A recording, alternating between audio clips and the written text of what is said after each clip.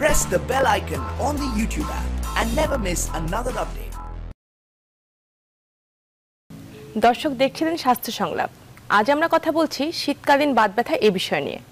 আমাদের সাথে আছেন অধ্যাপক doctor M A Mannan, doctor Shafiullah Pradhan এবং ডাক্তার রওশনারা।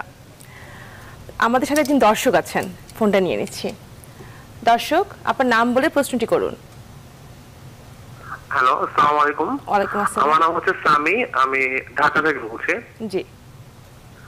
জি আমার আসলে সমস্যাটা হচ্ছে যে অনেকদিন থেকে এটা যে আমি যখন রাতে ধরেন আমার ঘুম কম হলো অথবা যেদিন আমার একটু বেশি পরিশ্রম হলো সেদিন আমার পায়ের বিভিন্ন গিরাতে হাঁটুতে অথবা হাতে হাত দিতে আর কি প্রচণ্ড ব্যথা হয়।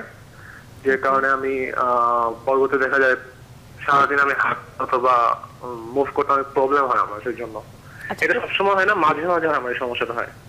আপনার বয়স কত? আমার বয়স হচ্ছে টোয়েন্টি এইট টোয়েন্টি এইট পেশা কি? আপনি কি করেন? কি করেন?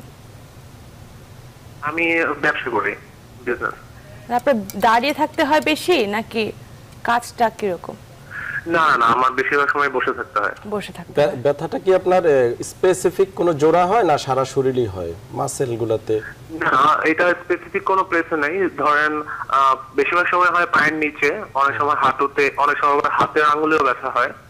দেখা যায় ব্যথার পরিমাণটা কখনো অনেক বেশি থাকে কখনো কম থাকে। আর আর সাধারণত এটা সন্ধ্যার পরে ব্যথাটা অনেক দিনের বেলা আবার এটা কমে যায় ব্যথাটা। আর ঘুমানোর পরে ভালো ঘুম হলে ব্যথাটা অনেকটাই কমে আসে। আপনার পরিবারে কি কারও বাত ব্যথা আছে? ধরেন আপনার ভাই বোন বাবা মা না পরিবারের কারণেই অথবা কোনো চর্মরোগ খুশকির মতো চামড়া ওঠা আমরা সোরিয়াসিস বলি? জি খুশকি রোগটা আছে। খুশকির মতো চামড়া ওঠে অথবা ধরেন মাথায় অনেক খুশকি হয় এরকম? হ্যাঁ মাথায় অনেক খুশকি হয়। জি। ঠিক আচ্ছা। আছে জি ধন্যবাদ। ধন্যবাদ বুঝতে পেরেছি। তাহলে আসলে ওনার রোগটা যেহেতু সকালবেলায় জড়তা থাকে এক সেই জন্য মনে হচ্ছে যে ওনার এটা কিন্তু বাত ব্যথা হওয়ার সম্ভাবনা মানে যেগুলা প্রদাহজনিত বাত রোগ এগুলো হওয়ার সম্ভাবনাই বেশি।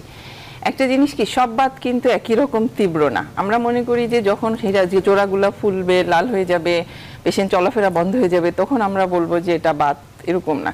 এটা মৃদু থেকে তীব্র পুরাটাই হতে পারে। তো এই বাতগুলার একটা ব্যাপার আছে কি যে শুরুর দিকে অনেক সময় আছে যে অল্প অল্প থাকে। এটাই একটা সময় গিয়ে ধীরে ধীরে দেখা যাবে যে পা সকালে উঠে পা ফেলতে গেলে অলওয়েজ পায়ের নিচে ব্যথা করছে।